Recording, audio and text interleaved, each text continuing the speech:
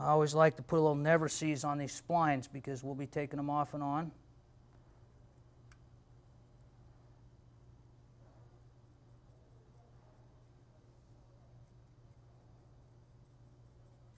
Okay, here we go. We're going to set our straight edge in, and we're going to set it inside on the outer flat face of the sprocket.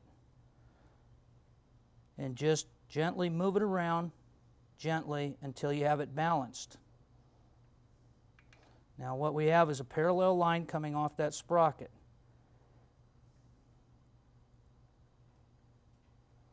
Now, as we move to the front sprocket, we're just going to try to slide it through. Slide it right by the front sprocket. And as you can see, both faces are set up real, real close to straight. Now, if we saw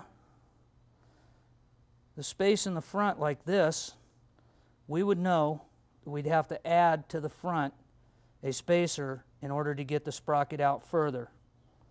If we saw it setting inside the gear and not able to go in the front, we'd know that we'd have to reduce the size of the spacer in the back behind the sprocket to bring it out straight. Now what we've done is we've placed that 90 thousandths in there and it's worked out real good for us.